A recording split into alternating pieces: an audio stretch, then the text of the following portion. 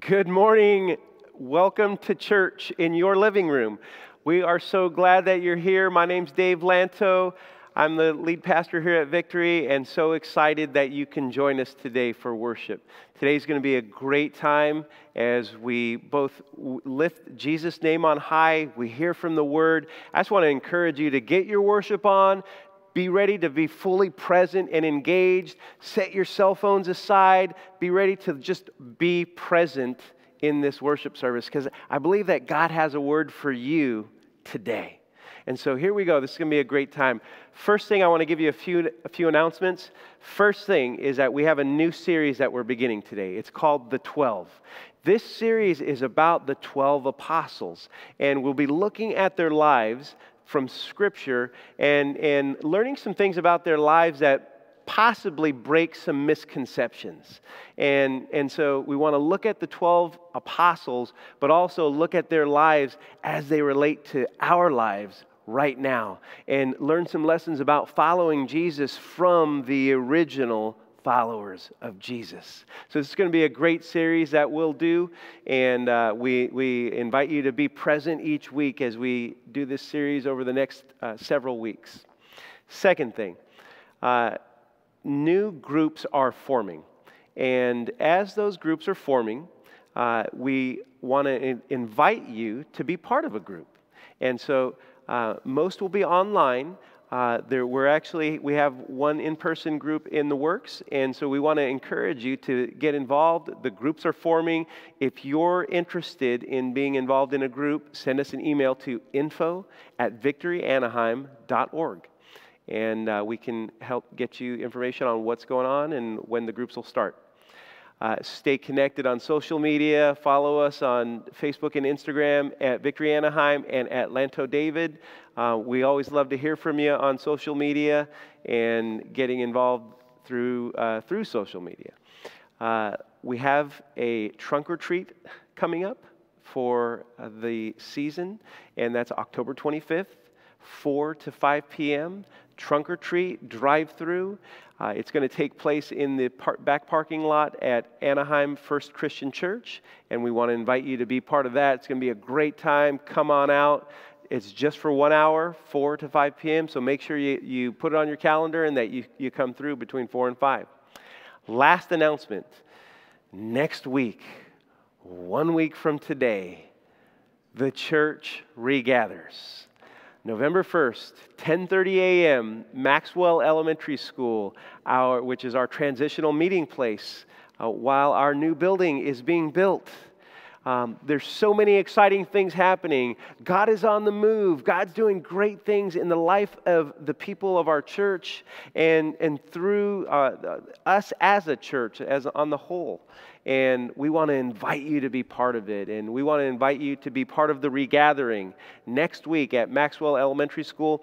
Make sure it's going to be an outdoor gathering and we're going to use their courtyard at the at the school uh, property and we want to invite you to bring your own chair. Bring a lawn chair with you for each person. And uh, possibly you could bring a, a, blanket to set on the ground as well if you want to sit on the ground. But um, make sure you bring those. We won't have chairs, so, so um, we're not bringing chairs out. We're asking you to bring your chair since it's an outdoor gathering. So bring your lawn chairs, pretend like you're going to the park, and come out to worship the Lord with us next Saturday, November 1st 10:30 a.m. And right now, will you join us in worship, lifting the name of Jesus on high? Where you go, I'll go. Where you stay, I'll stay. Where you move, I'll move. I will follow you.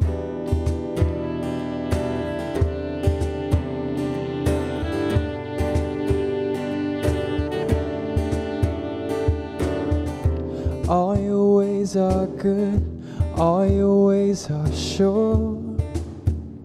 I will trust in you alone, higher than my sight, high above my life. I will trust in you alone, in you alone. Where you go, I'll go. Where you stay, I'll stay. When you move, I'll move. I will follow. you. Who you love, I'll love. How you serve, I'll serve. If this life I lose, I will follow you. Yeah, I will follow you.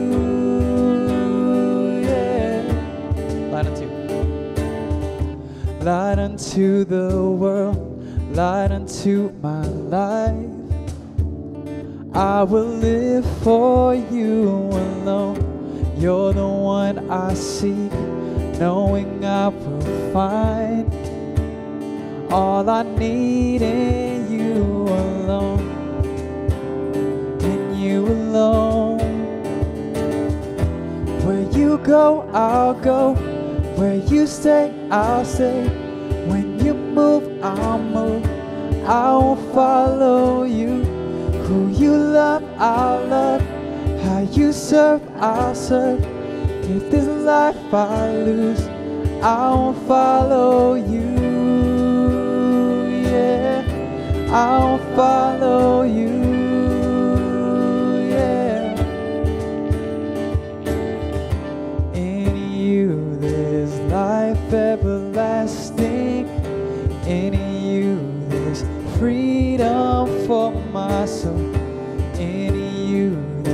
Joy, unending joy.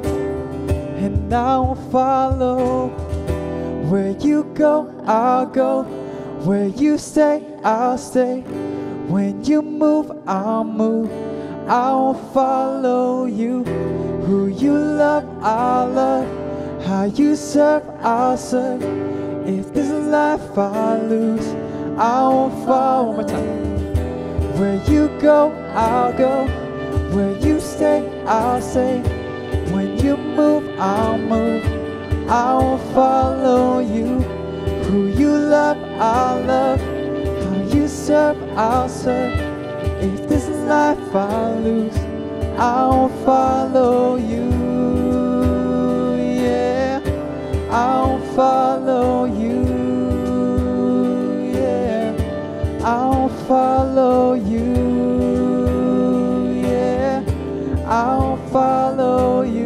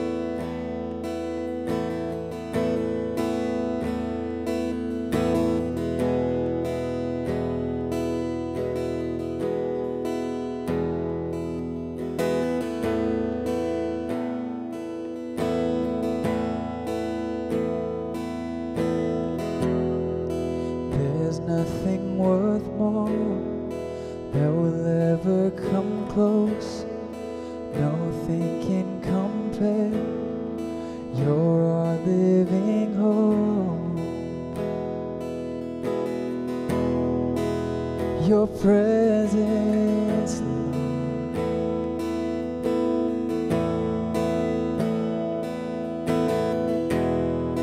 I've tasted and seen all the sweetest of loves.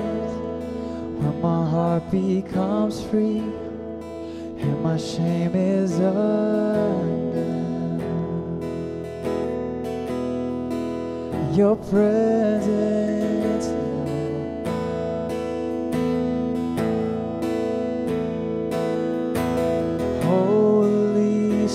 Spirit, you are welcome.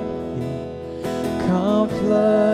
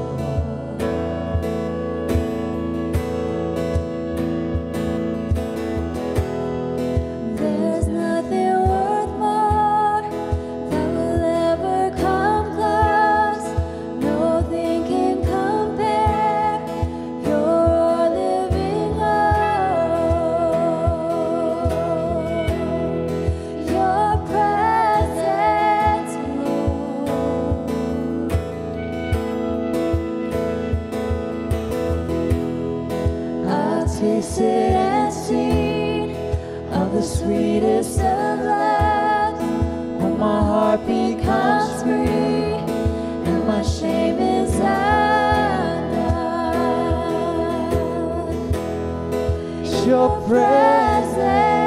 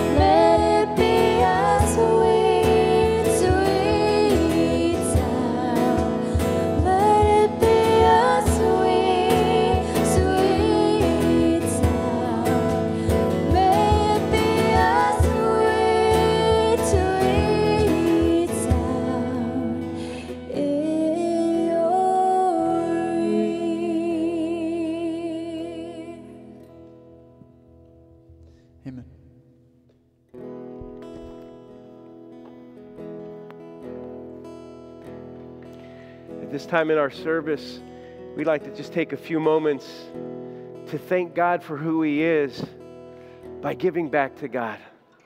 So at this point of our service, we do our, our giving. And giving is one of those practices that God's people do with a heart of gratitude. And without a heart of gratitude, giving means nothing.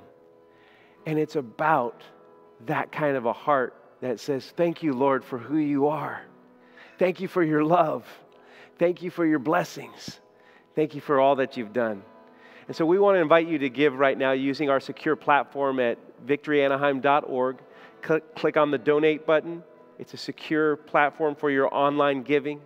We invite you to give. In our church, we practice the tithe, which is a big commitment. And we want to encourage folks that have never practiced giving 10% of your income back to God to try to test out God. Because it's the only thing, giving is the only thing in the scripture where God says, Test me and see that I don't provide for you. And so we want to encourage you to give it a test for three months. Try giving for three months and see what God does and see how it changes you. God bless you as you give back to the Lord.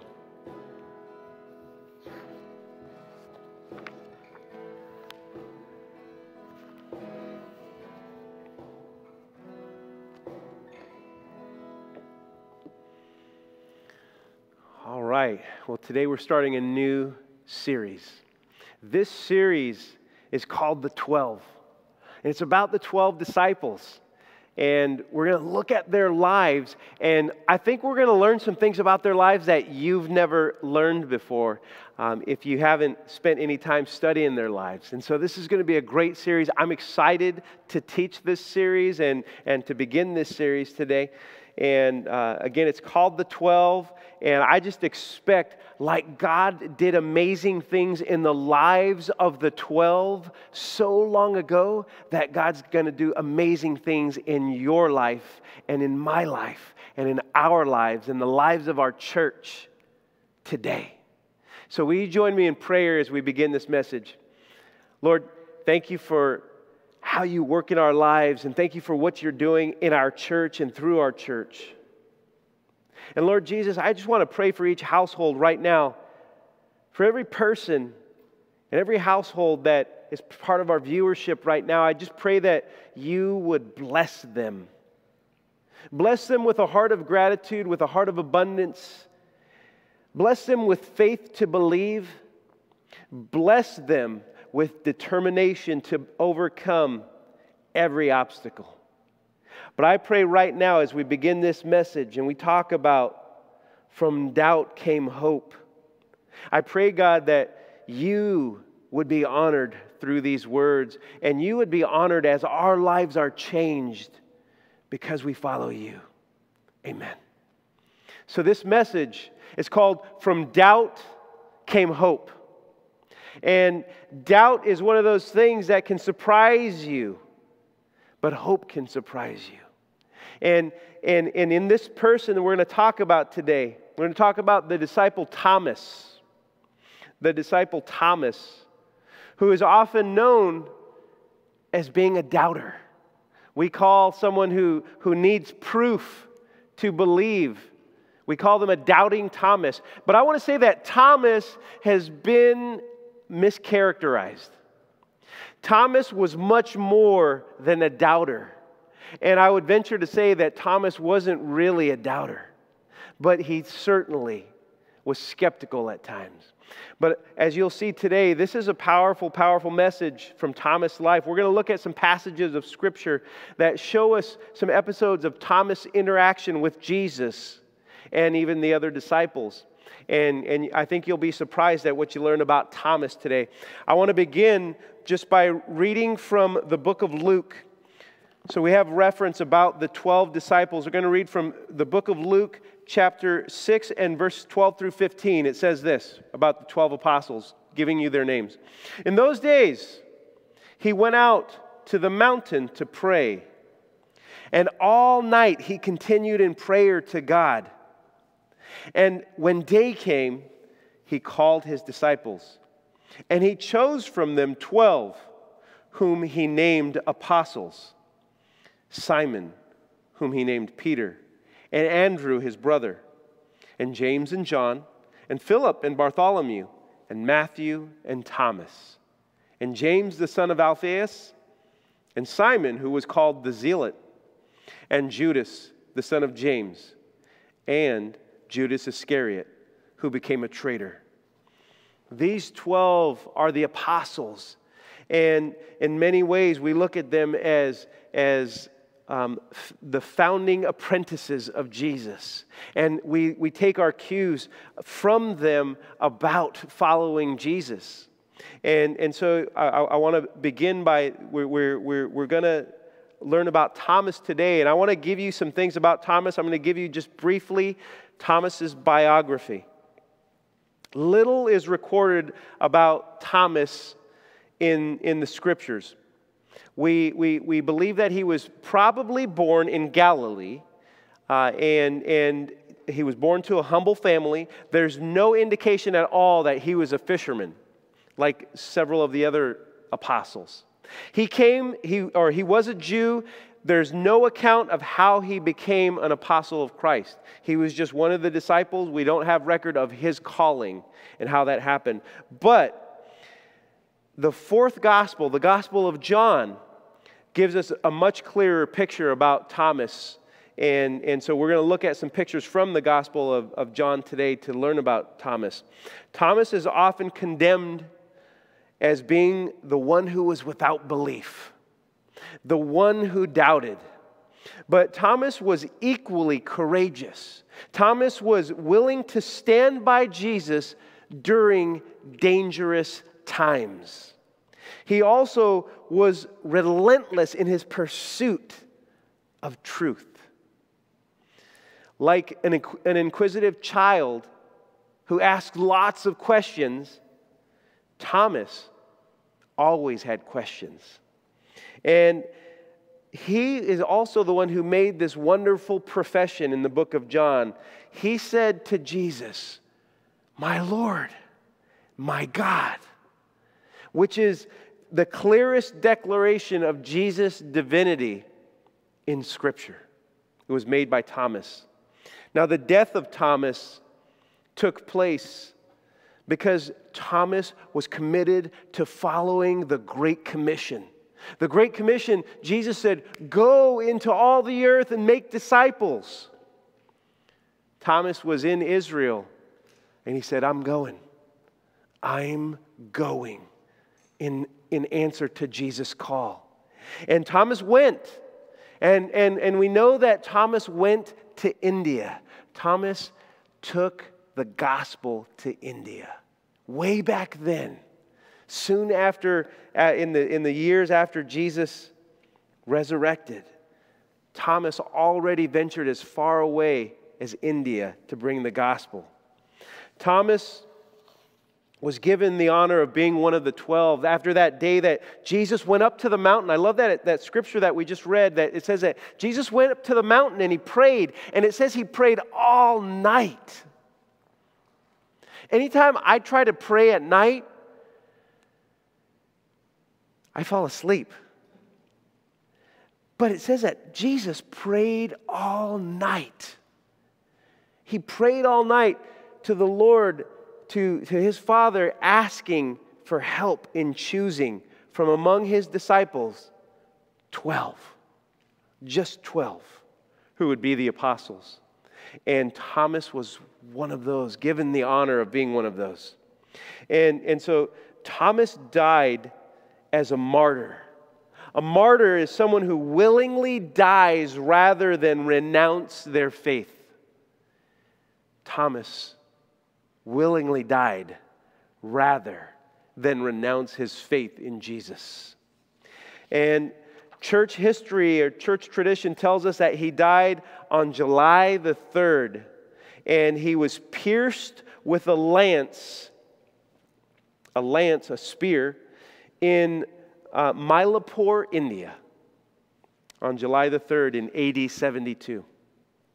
Now, we, Thomas deserves honor as someone who was a martyr. He died for his faith. He died taking the faith to people who had not heard, and people who did not want to hear killed him with a spear.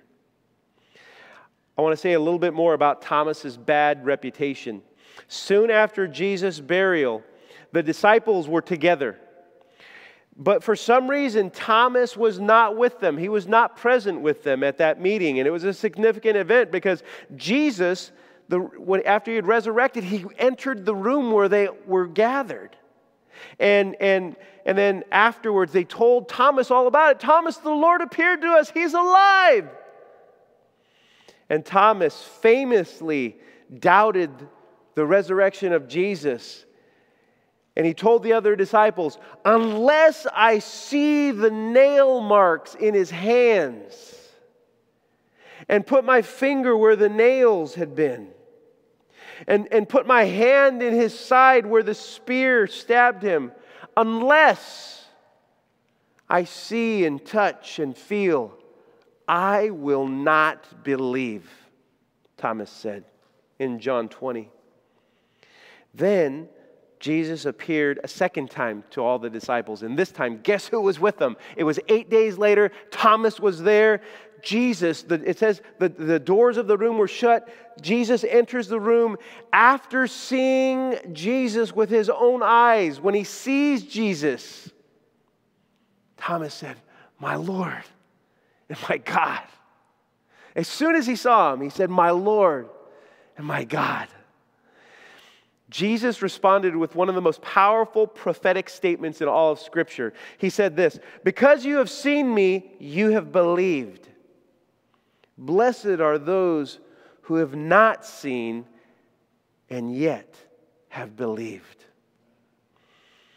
Thomas' moment of skepticism earned him the nickname doubting Thomas, which evolved into a term for anyone who needs proof before they believe something. But I believe that this, this is from a superficial reading of Thomas's life. His life really was not defined by doubt, but by faith. And so I want to say this to all the doubters who are out there, to all the skeptics who may be listening or watching, to those who need proof, I say this you are not alone. Your questions will help you grow. They are not meant to be dead ends. None of your questions are dead ends. Far from it. Your questions can fuel your understanding and the understanding of others yet to find faith. So, we're going to look at the book of John and get to know Thomas a little bit from his interactions. I want to say that those who doubt, there are the skeptics who doubt about God, there are those who lack belief in themselves, and then there are those who just doubt that God will deliver or can deliver in their situation. Doubt comes in these many flavors. But we're going to look at, at Thomas's life and gain a little something a little perspective about doubt from his life. So I'm going to read this next passage, and it, and it comes from the book of John, chapter 11, where, where we have Thomas saying, Let us go that we may die with him. Thomas said that about Jesus. In John chapter 11 and verses 11 through 16. After saying these things, he said to them, Our friend Lazarus has fallen asleep, but I will go awaken him. The disciples said to him, Lord, if he's fallen asleep, he will recover. Now, Jesus had spoken of his death, but they thought he meant that he was taking a rest in sleep. Then Jesus told them plainly, Lazarus has died. And for your sake, I'm glad that I was not there, so that you may believe. But let us go to him. So Thomas, called the twin, said to his fellow disciples, Listen to this. Thomas said this to the rest of the disciples Let us also go that we may die with him. Let me explain. Near the end of Jesus' earthly ministry, some people in Judea were plotting to kill Jesus.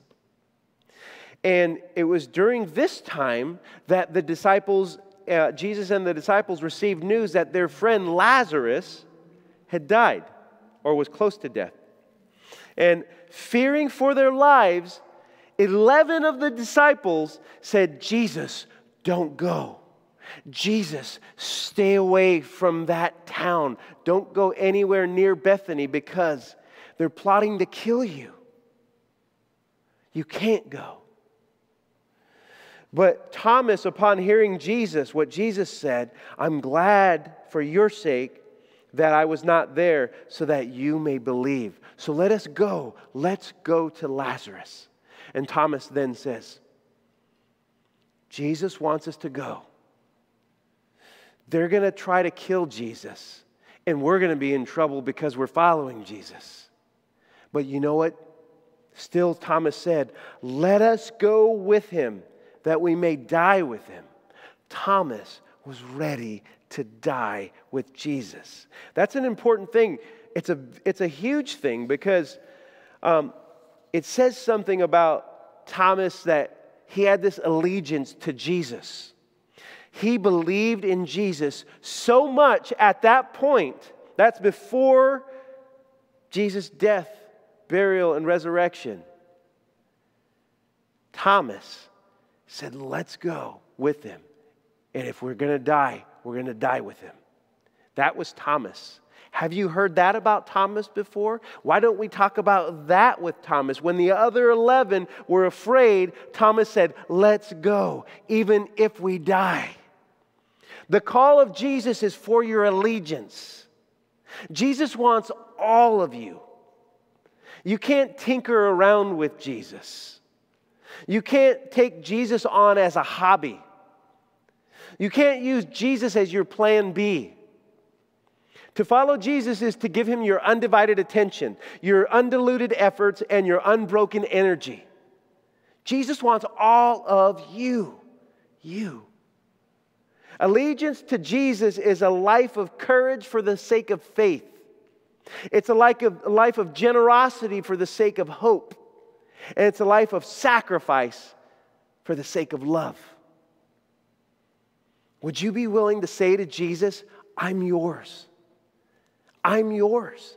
Say it with him. Say it with me right now. Tell Jesus, I'm yours. That was Thomas. Jesus, I'm yours. Now we're going to look at this other episode. This is from John chapter 14, just a few pages over. In John 14, verses 1 through 5, Thomas said, We do not know the way. I'm going to read verses 1 through 5 of John chapter 14. Let not your hearts be troubled. Believe in God, believe also in me. In my Father's house are many rooms. If it were not so, I would have told you that. I go to prepare a place for you. And if I go to prepare a place for you, I will come again and will take you to myself, that where I am, you may be also. And you know the way to where I am going.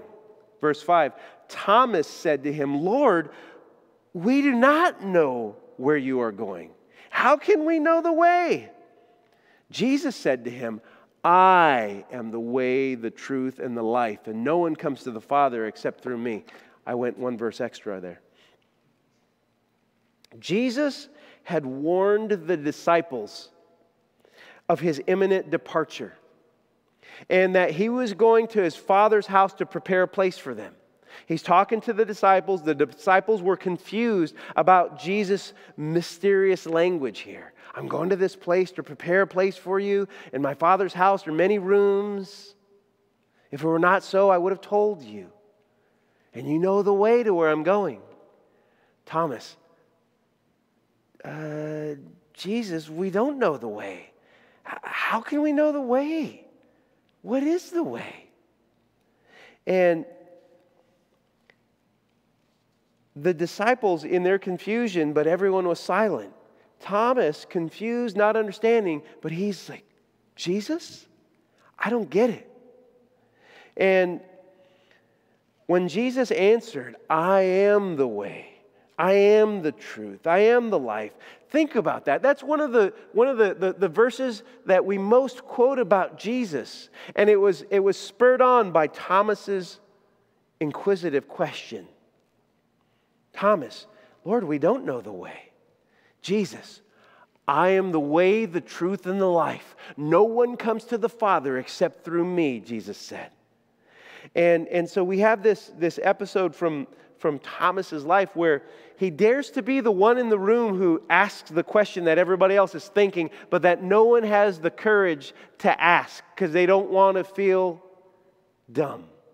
They don't want to feel stupid. They don't want to be mocked. They don't want to fill in the blank. Listen up. Putting yourself out there takes courage. It does.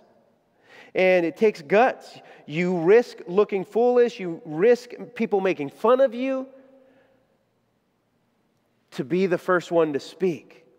But those who dare to speak when afraid are the ones who overcome fear. Those are the ones, the ones who overcome fear are the ones who experience breakthroughs. You don't experience those kind of breakthroughs unless you're willing to put yourself out there.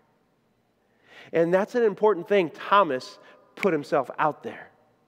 And he was first in line to put himself out there.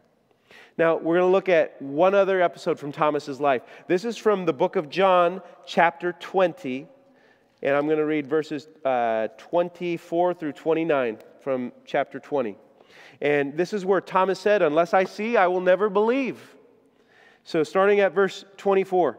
Now, Thomas, one of the twelve, called the twin, was not with them when Jesus came. So the other disciples told him, We've seen the Lord. But he said to them, Unless I see in his hands the mark of the nails, and place my finger into the mark of the nails, and place my hand into his side, I will never believe. Be careful what you say, Thomas. Eight days later, his disciples were inside again, and Thomas was with them. Although the doors were locked, Jesus came and stood among them, and he said, Peace to you. Then he said to Thomas, Jesus went to Thomas, Put your finger here and see my hands, and put out your hand and place it on my side. Do not disbelieve, but believe. Thomas answered him, My Lord and my God. And Jesus said to him, Have you believed because you've seen me? Blessed are those who have not seen and yet have believed. Thomas's skepticism is not the same as worldly opposition, the worldly opposition to the truth. His doubts represent a genuine, truth loving quest. When Thomas told the other disciples that he needed proof to believe Jesus had resurrected from the dead, he was speaking honestly. So, check this out sincere faith does not discount sincere investigation. Sincere faith never discounts sincere investigation. Eight days after the resurrection, the disciples were together and they, again, and this time Thomas is with them. It's no accident. Thomas is with them together again. Jesus appeared, invites Thomas Thomas, touch, feel, see. Doubt is like a clogged sink. Once you express your doubt, it becomes the very barrier to your growth. But honest doubts and questions are no threat to faith. Christians need not be threatened by their friends' questions or by their children's doubts. The question is, what will you do after expressing the doubt? You who doubt, what will you do after expressing the doubt? Your next move determines if your sink stays clogged up or if the water flows. If you sit on it, nothing grows. In fact, you remain stuck in doubt like the clogged sink. Your faith begins to erode as your brain kicks in and tries to fill your unanswered questions.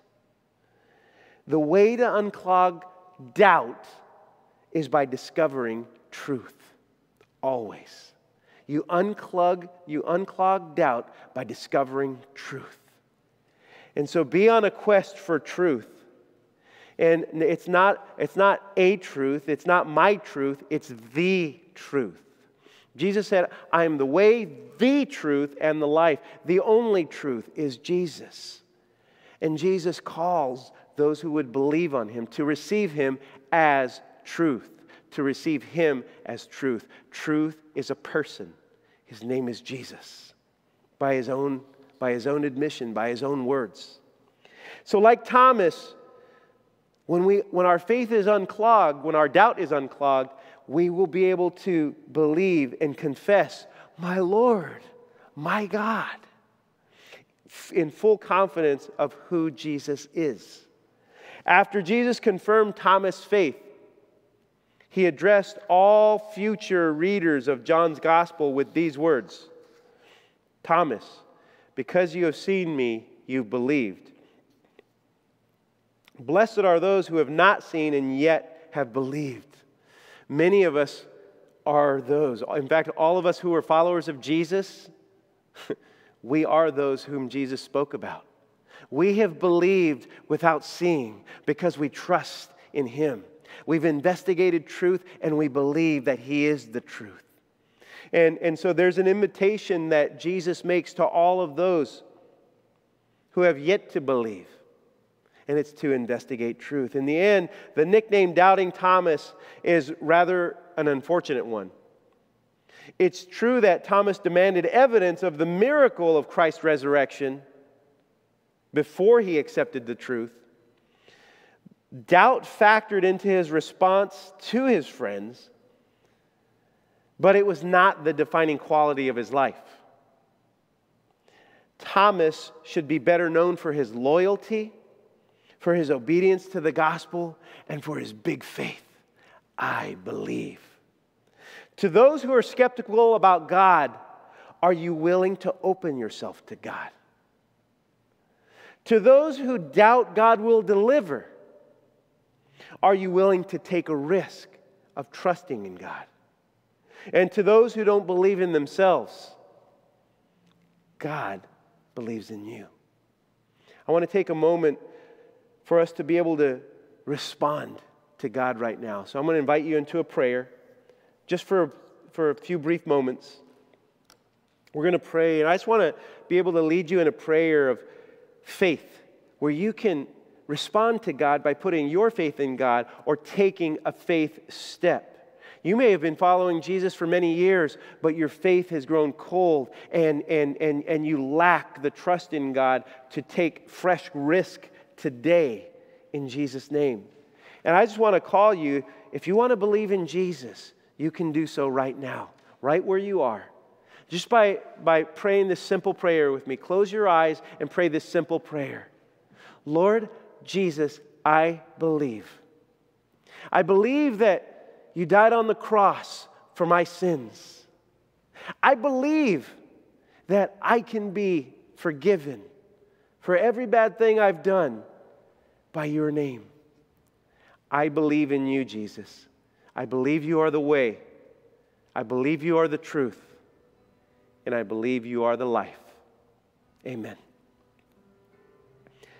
You know, there's a strange connection between Thomas and Jesus. You know how Thomas said, Unless I feel the spear in his side, the, spear, the mark where the spear went into his side, I won't believe. And so at the end of Jesus' life, Jesus was stabbed with a spear. And at the end of Thomas's life, he was stabbed with a spear. And that's how he died.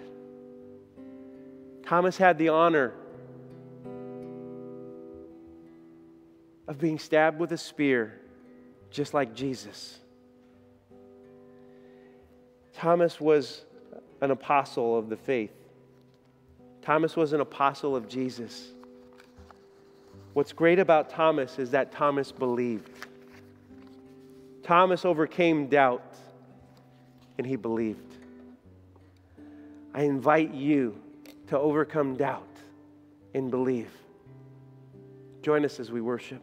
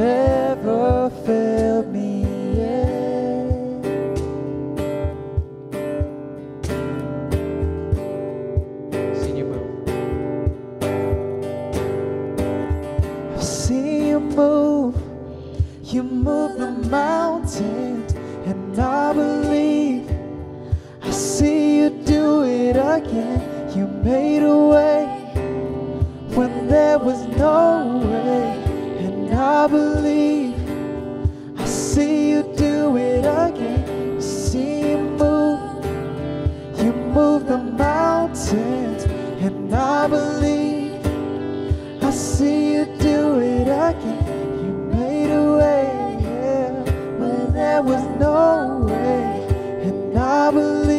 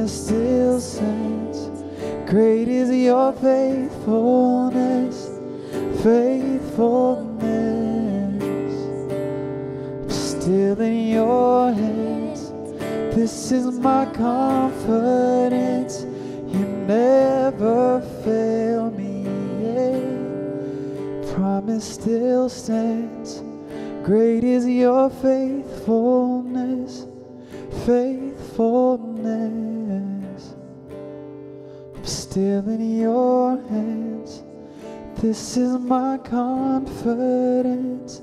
You never failed me yet.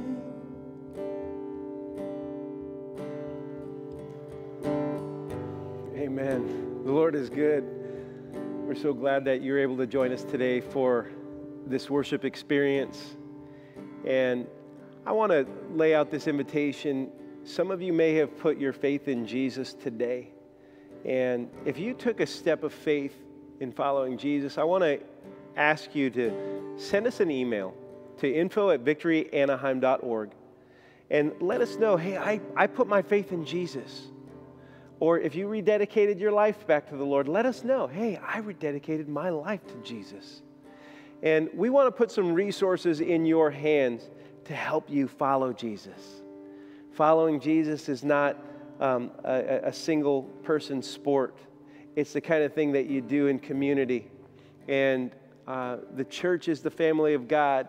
And so um, we want to welcome you home into the family of God because home is where we belong. Home is, is, is, is with a people who are your people, and God's people are your people as you follow Him.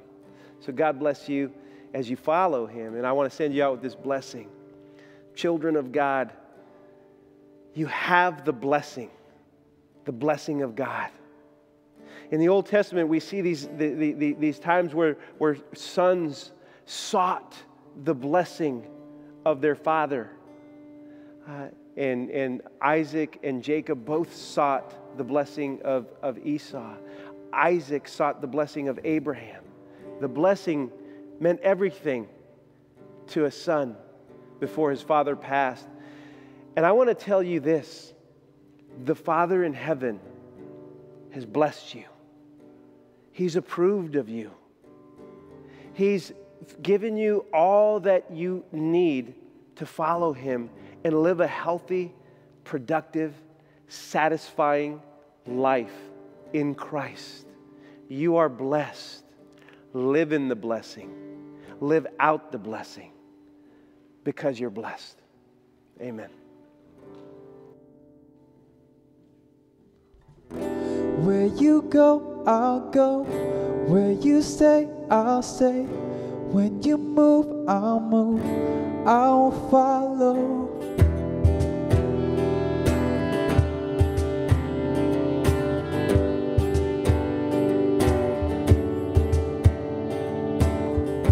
All your ways are good, all your ways are sure. I will trust.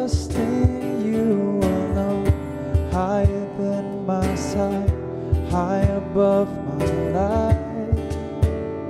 I will trust in you alone, in you alone. Where you go, I'll go. Where you stay, I'll stay. When you move, I'll move.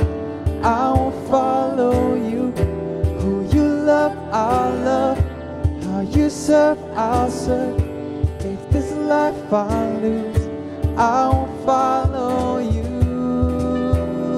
Yeah, I will follow you.